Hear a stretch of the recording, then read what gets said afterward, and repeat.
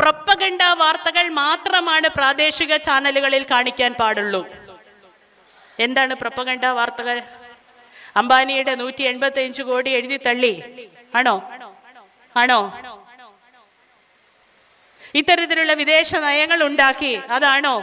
ചേരിചേരാ നിയമത്തിന്റെ കാതലും കാവലുമായിട്ട് നിന്ന് ഇന്ത്യ മഹാരാജ്യം അമേരിക്കയുടെ ആയുധ കച്ചവടത്തിന് കൂട്ടുനിൽക്കുന്ന രീതിയിൽ പലസ്തീനെ തള്ളി പറഞ്ഞുകൊണ്ട് ഇസ്രായേലിന്റെ കാവലാളായി ഇന്ത്യ മാറുന്നതാണോ? അപ്പൊ ചേരിചേര നയം എവിടെ പോയി? പോളിസി എവിടെ പോയി? ഈ ചേരിചേര നയം എന്നെങ്കിലും ഇന്നത്തെ മാധ്യമങ്ങൾ ചർച്ച ചെയ്തോ? പാലസ്തീന്റെ യുദ്ധത്തിന് പാലസ്തീനെ തള്ളിപ്പറഞ്ഞുകൊണ്ട് ഇസ്രായേലിന് വേണ്ടിയിട്ട് ഇന്ത്യയുടെ ഭരണകൂടം നിൽക്കുന്നുണ്ടെങ്കിൽ അതിന്റെ കാതലായ കാരണം എന്തെന്ന്? ഏതെങ്കിലും ചാനലുകൾ ചർച്ച ചെയ്തോ? അമേരിക്ക എന്ന് പറയുന്ന ലോക ബോംബിന് വേണ്ടിയിട്ട് ലോക ആയുധ കച്ചവടത്തിന് വേണ്ടിയിട്ട് ഇന്ത്യ കൂട്ടുനിൽക്കുകയാണെന്ന് പറയുന്ന ഏതെങ്കിലും ഒരു ചാനലുകളെ നമ്മളിവിടെ കണ്ടോ? ഇദ്ദേഹത്തെ പോലെയുള്ളവർ അല്ലെ മന്ത്രിമാരെ പോലെയുള്ളവർ രാഷ്ട്രീയ നേതാക്കന്മാരെ പോലെയുള്ളവർ സാംസ്കാരിക നായകന്മാരെ പോലെയുള്ളവർ അവരുടെ കഴുത്തിന് വില പറയുന്നത് കേട്ടുകൊണ്ട് ഇത്തരത്തിൽ പ്ലാറ്റ്ഫോമുകളിൽ കയറി നിന്ന് പറഞ്ഞിട്ടുള്ളതല്ലാതെ ചങ്കുറപ്പുണ്ടെന്ന് പറയുന്ന ഏതെങ്കിലും ഒരു മാധ്യമ പ്രവർത്തകൻ മീശ വെച്ചിട്ടുള്ള ഏതെങ്കിലും ഒരു വാർത്താ വായനക്കാരൻ. ഇന്ത്യയിൽ നരേന്ദ്രമോദി അമേരിക്കയുടെ ആയുധ കച്ചവടത്തിന്റെ പിമ്പാണെന്ന് പറയാൻ തയ്യാറാവുന്നുണ്ടോ? എന്തുകൊണ്ടാ? സാംസ്കാരിക നയമാണ്. സാംസ്കാരിക നയത്തിന്റെ ക്ലോസ് ആണിത് പ്രപ്പഗണ്ട വാർത്തകൾ മാത്രമേ ടി വിയിൽ കാണിക്കാൻ പാടുള്ളൂ. എന്താണ് ഇപ്പൊ പ്രപ്പഗണ്ട വാർത്തകൾ? സ്വപ്ന കറുത്ത വസ്ത്രമിട്ട് നടക്കുമ്പോൾ അവളുടെ മെയ്യഴവ് അഴക്. സി പി എമ്മിന്റെ സംസ്ഥാന സെക്രട്ടറി കൊടിയേരി ബാലകൃഷ്ണന്റെ മകൻ ജയിലിൽ കിടക്കുന്നത്. കാലങ്ങളോളം ജയിൽ കിടന്നിട്ട് നിരുപാധികം തെറ്റുകാരനല്ലെന്ന് പറഞ്ഞ് ഇറങ്ങി വന്നാൽ വാർത്തയല്ല. പക്ഷെ അയാളുടെ വീട്ടിൽ ഒരാൾ അന്വേഷിച്ചു പോയാൽ അത് വാർത്തയാണ്. ഇന്ന് സരിതയ്ക്ക് ക്യാൻസർ ആണോ മറ്റെന്തെങ്കിലും രോഗമാണോ എന്ന് അന്വേഷിക്കുന്നത്? നാളെ മുഖ്യമന്ത്രി ജനങ്ങളെ കാണാൻ നേരിട്ട് ജനങ്ങളുടെ ആവശ്യങ്ങളിലേക്ക് ഇറങ്ങി ചെല്ലാൻ വേണ്ടി മന്ത്രിമാരുൾപ്പെടെയുള്ളവർ അവരുടെ ആരോഗ്യമോ സാഹചര്യമോ കുടുംബമോ നോക്കാതെ തെരുവിൽ ഇതാ ജനങ്ങളുടെ മുന്നിലേക്ക് അധികാര വികേന്ദ്രീകരണത്തിന്റെ ഭാഗമായി ഇത് അധികാരം നിങ്ങളുടെ വീട്ടുമുറ്റത്താണെന്ന് പറഞ്ഞ് ഇറങ്ങി വരുമ്പോൾ ആ ഇറങ്ങി നടക്കുന്നത് റോഡിൽ ബ്ലോക്ക് ഉണ്ടാകരുത്. ഇരുപത്തൊന്ന് മന്ത്രിമാർക്ക് അവരുടെ വാഹനങ്ങൾ അവരുടെ എസ്കോട്ടുകളും അവരുടെ ഓഫീസർമാരും സഞ്ചരിക്കുമ്പോൾ ഉണ്ടാകാവുന്ന ബ്ലോക്കുകളെ തടയാൻ വേണ്ടിയിട്ട് ഒറ്റ വാഹനത്തിൽ നടുവേദനയും അള്ളി പിടിച്ചുകൊണ്ട് ഒരു ബസ്സിൽ ഇരുന്നു കൊണ്ട് മന്ത്രിമാർ അവരുടെ പ്രായത്തെ വകവയ്ക്കാതെ യാത്ര ചെയ്യുന്നുണ്ടെങ്കിൽ ആ ബസ്സിനെ കുറിച്ച് കൊടുക്കുന്ന ആർഭാട കഥകൾ. ഇത് പ്രപ്പകണ്ട വാർത്തയാണ്. ഇതൊക്കെ നിങ്ങൾ ആവോളം പറഞ്ഞു. എത്ര ദിവസം വേണേലും ചർച്ച ചെയ്തു. എത്ര മണിക്കൂറുകൾ വേണമെങ്കിലും പറഞ്ഞു. അത് ഇടതുപക്ഷത്തിനും മനുഷ്യപക്ഷത്തിനും എതിരാവുന്നുണ്ടെങ്കിൽ തരും ആര് പൈസ? കോർപ്പറേറ്റ് തരും പൈസ. സർക്കാരിന്റെ ക്ലോസ് ഇതൊക്കെയാണ്. സെൻട്രൽ ഗവൺമെന്റ് നിങ്ങളോട് പറയുന്നത് ഇത്തരം വിഭവങ്ങൾ കാണിക്കുക ഇത്തരം വാർത്തകൾ കാണിക്കുക. ഇതിന്റെ പ്രതിഫലം ആര് തരും? കോർപ്പറേറ്റ് തരും. അപ്പം നമ്മളുടെ സാംസ്കാരിക നയത്തിന്റെ ട്രയാങ്കിൾ ആര് വരയ്ക്കും? വളരെ ഡിഫൈൻഡ് ആയിട്ട് വരയ്ക്കുന്ന ഈ ട്രയാങ്കിൾ ആര് വരയ്ക്കും? സെൻട്രൽ ഗവൺമെന്റും കോർപ്പറേറ്റും കൂടി വരയ്ക്കും. നമ്മൾ അതിനകത്ത് ആടും പാടും. ഞാൻ സാംസ്കാരിക പ്രവർത്തനമാണ് സാംസ്കാരിക നായികയാണെന്ന് പറഞ്ഞ് കോളറൊക്കെ വലിച്ചിട്ടിട്ട് ഞാനത് ചെയ്യുന്നുണ്ട്. ഞാൻ കവിത എഴുതുന്നുണ്ട് ഞാൻ പുസ്തകം എഴുതിയിട്ടുണ്ട് എന്റെ പുസ്തകം പ്രകാശനം ചെയ്തിട്ടുണ്ട്. ഞാനിവിടെ പ്രസംഗിക്കുന്നുണ്ട്. എന്റെ പ്രഭാഷണം കേൾക്കാൻ ആയിരക്കണക്കിന് പേരുണ്ട്. ശ്രീ ചിത്രന്റെ പ്രഭാഷണത്തിന് എത്ര എത്ര ലൈക്കുണ്ട് എത്ര മില്യൺ ഉണ്ട്? അദ്ദേഹത്തിന്റെ സാരഥിയോട് ചോദിച്ചാൽ ഇപ്പോൾ പറയും. അത്രയും ഫോളോവേഴ്സ് ഉണ്ട്. എന്റെ യൂട്യൂബ് ചാനലിൽ ഒരിക്കലും പരിപാടി വരാത്ത ഒന്നോ രണ്ടോ പതിനൊന്ന് എപ്പിസോഡ് ഇട്ടിട്ടുള്ള എന്റെ യൂട്യൂബ് ചാനലിന് ആയിരത്തി അഞ്ഞൂറ് സബ്സ്ക്രൈബേഴ്സ് ഉണ്ട് എന്നൊക്കെ പറഞ്ഞ് ഞാനും നിങ്ങളും ഒക്കെ ഇങ്ങനെ നടക്കും. ഇവിടെ പൂച്ചയെ പോലെ പതുങ്ങി പതുങ്ങി പതുങ്ങി പതുങ്ങി നമ്മളുടെ ജീവിതത്തിന്റെ ഇടയിൽ നിന്ന് നമ്മളുടെ ചോരയും നുയിരും വലിച്ചൂറ്റിയിട്ട് നൂറ്റി ഇരുപത്തി പേരും അവർക്ക് വേണ്ടി കോട്ടും സൂട്ടും ഇട്ട നെഞ്ചളവുള്ള രാജാവും ഇങ്ങനെ വിഹായസിൽ നടക്കും. അപ്പം നവകേരള സദസ് വേണ്ടേ?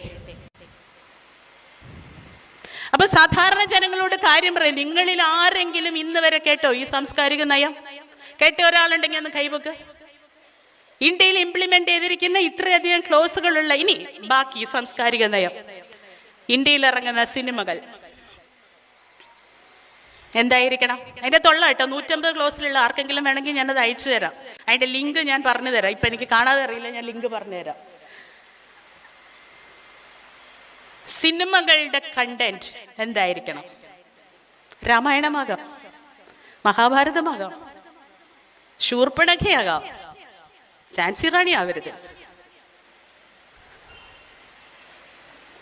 സീതയാവാം കുമാരനാശാന്റെ ചിന്താവിഷ്ടയായ സീതയാവരുത്. ഊർമിളയാവാം പക്ഷെ അവരവസാനം രാമന്റെ നേരെ കൈ ചൂണ്ടരുത്. കൃത്യമായ ക്ലോസുകളുണ്ട്. നമ്മുടെ മിത്തോളജി ബേസ് ചെയ്ത് നമ്മുടെ അതിന് ഒരു ഓമന പേരുണ്ട്. എന്താ? നമ്മൾ എപ്പോഴും കേൾക്കുന്ന ഓമന പേര്? സാംസ്കാരിക ദേശീയത. സാംസ്കാരിക ദേശീയത വളർത്തണം. എങ്ങനെ വളർത്താം? നമ്മുടെ മിത്തുകളെ കുറിച്ച് സംസാരിക്കാം. നമ്മുടെ ഗണപതിക്ക് കൊമ്പ് വന്നത് പറയാം. നമ്മുടെ സുബ്രഹ്മണ്യന്റെ മാമ്പഴം ഗണപതി അടിച്ചുകൊണ്ട് പോയത് പറയാം. അച്ഛനമ്മമാരാണ് ഈ ലോകം എന്ന് പറയാം. അവരെന്ത് തെറ്റ് ചെയ്താലും അവരുടെ ചുറ്റിൽ നടന്നിട്ട് നിങ്ങളും ആ തെറ്റ് ചെയ്യുന്ന മക്കളായിട്ട് അങ്ങ് വളരണം എന്ന് പറയാം. ഇന്നലകളിൽ എന്ത് പറഞ്ഞു വെച്ചിട്ടുണ്ടോ അത് മുഴുവൻ നിങ്ങൾക്ക് പറയാം. ഇന്നലകളിൽ നടന്നിരുന്ന സതിയും ബാലവിവാഹങ്ങളും വിധവാ വിവാഹത്തിനെതിരായിട്ടുള്ള നടപടികളും അതെല്ലാം നിങ്ങൾക്ക് പറയാം. ഒരു പെണ്ണ് ഒരു ഒരു സംഘടനാ പ്രവർത്തനത്തിന് പുറത്തേക്ക് ഇറങ്ങിയാൽ അവളെ അഭിസാരിക എന്ന് വിളിക്കാം. ശ്രീകൃഷ്ണനെ പോലെയല്ലാതെ ഒരു പുരുഷനെ അല്ലാതെ ആരെയാണ് ഞാൻ പ്രണയിക്കുക എന്നെഴുതിയ കമലദാസിനെ ലോകം കണ്ട ഏറ്റ- ഏറ്റവും വലിയ അഭിസാരികയായിട്ട് പറയാം. ഇതൊക്കെ പറയാം. ഇതൊക്കെ പറയാം. പക്ഷേ പുരോഗമനം പറയരുത്. കമ്മ്യൂണിസം പറയരുത്. ന്യൂനപക്ഷക്കാരന്റെ ജീവിതം പറയരുത്. മുന്നോട്ടുള്ള ശാസ്ത്രബോധം പറയരുത്. ഗണപതി ടെസ്റ്റ് ട്യൂബ് ശിശുവാണെന്ന് പറയാം. യഥാർത്ഥത്തിൽ ടെസ്റ്റ് ട്യൂബ് ശിശു നിനക്ക് എങ്ങനെ ഉണ്ടാകും എന്ന് ചോദിച്ചാൽ അത് പറയരുത്. അത് സീരിയൽ കാണിക്കുന്നുണ്ട്. കല്യാണം കഴിച്ചിട്ട് ന്യൂലി വെഡഡ് ആയിട്ട് കപ്പിൾസ് നിൽക്കുമ്പോൾ അവർക്ക് മക്കൾ ഉണ്ടാവാതിരിക്കുന്നുണ്ടെങ്കിൽ ഗൈനക്കോളജിസ്റ്റിന്റെ അകത്ത് അടുത്തേക്ക് പോകാമെന്ന് പറഞ്ഞു നിൽക്കുന്ന ആ യുവമിഥുനങ്ങളെ അമ്മായിയമ്മയും അമ്മയും കൂടി പറയും വേണ്ട പോറ്റിയുടെ അടുത്ത് പോ ജോത്സ്യന്റെ അടുത്ത് പോ ഒന്ന് കവടി നിരത്തി നോക്ക്. സീരിയലിൽ എന്തായാലും അമ്മയും കൂടെ കൂടിയിട്ട് അന്ന് വരെ ബഹളം വെച്ച് തലക്കടിക്കാൻ നിന്ന് അമ്മയും കൂടി കൂടിയിട്ട് ജോത്സ്യന്റെ അടുത്ത് പോകും. ജോത്സ്യം പറയും അവിടെ ഉരുളി കമഴ്ത്തിയാൽ മതി ഇവിടെ അച്ഛൻ ശയനപ്രദക്ഷിണം നടത്തിയാൽ മതി. കുഞ്ഞുങ്ങൾ ഉണ്ടാവുകയും ചെയ്യും കേട്ടോ ഉണ്ടാവാതെ ഒന്നും ഇരിക്കില്ല. ഇനി ഭാര്യയും ഭർത്താവും കൂടെ കണ്ടില്ലേലും കുഴപ്പമില്ല മക്കൾ ഉണ്ടായിക്കോളും ഇതാണ് ഞാൻ അഭിനയിക്കുന്ന സീരിയൽ. ഇത് ഞാൻ വെറുതെ അഭിനയിക്കുന്നതല്ല.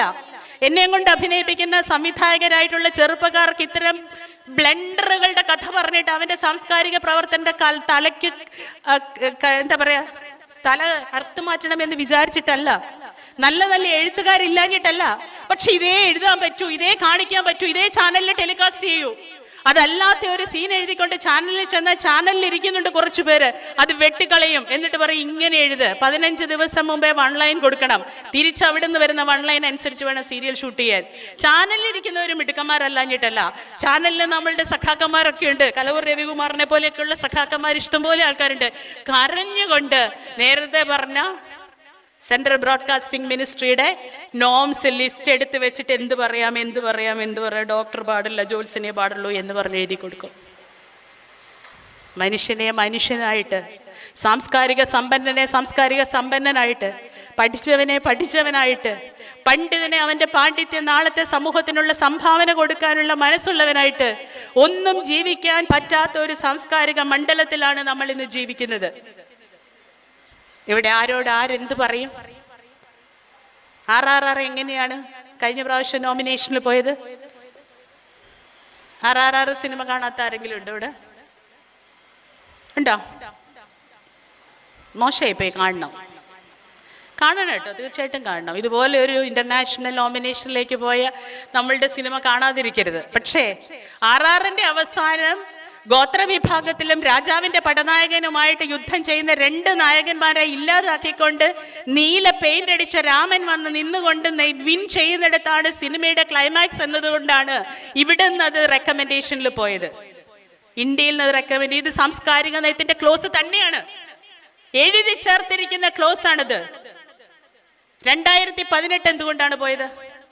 ലോകം കണ്ടിട്ടുള്ള ഏറ്റവും അടുത്ത് നിൽക്കുന്ന ചരിത്രം രണ്ടോ മൂന്നോ വർഷത്തിന് മുമ്പ് ഒരു പ്രളയത്തെ നമ്മളെല്ലാം മുങ്ങി ചാവാൻ പോയപ്പോൾ കേരളത്തിൽ ഒരു മുഖ്യമന്ത്രി ഉണ്ടായിരുന്നു. എന്നാൽ നമ്മൾ അങ്ങ് ഇറങ്ങുകയല്ലേ എന്ന് ചോദിച്ചപ്പോൾ ജനത്തെ മുഴുവൻ കൂട്ടിപ്പിടിച്ചിറക്കാൻ ആർജവമുള്ള ഒരു മുഖ്യമന്ത്രിയും അദ്ദേഹത്തിന്റെ പ്രസ്ഥാനവും ഈ നാട്ടിൽ ഉണ്ടായിരുന്നുകൊണ്ട് നമ്മളൊക്കെ ഇന്നും ജീവനോടെ ജീവിച്ചിരിക്കുന്ന ഈ നാട്ടിൽ ഒരു പള്ളിയിലച്ഛൻ പറഞ്ഞ അങ്ങ് ഇറങ്ങുകയല്ലേ എന്ന് ചോദിച്ചപ്പോൾ ഇറങ്ങി എന്ന് പറഞ്ഞ സിനിമയാണ് ഇന്റർനാഷണൽ റെക്കമെൻഡേഷനിൽ പോയിരിക്കുന്നത്.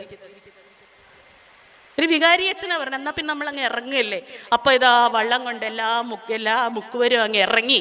എന്ന് പറഞ്ഞ് രണ്ടായിരത്തി പതിനെട്ട് കണ്ടിട്ട് കൈയടിച്ചു പോയവരാണ് നമ്മളെന്ന് പറയുമ്പോൾ നമ്മളെയും നമ്മൾ ചൂണ്ടുവിരലിൽ നിർത്തേണ്ട അവസ്ഥയിലേക്ക് വരികയാണ്. നമ്മൾ ആരെങ്കിലും പറഞ്ഞോ ശുദ്ധ നുണയാണ് പറഞ്ഞത് തിയേറ്റർ ഞാൻ ബഹിഷ്കരിക്കുമെന്ന്?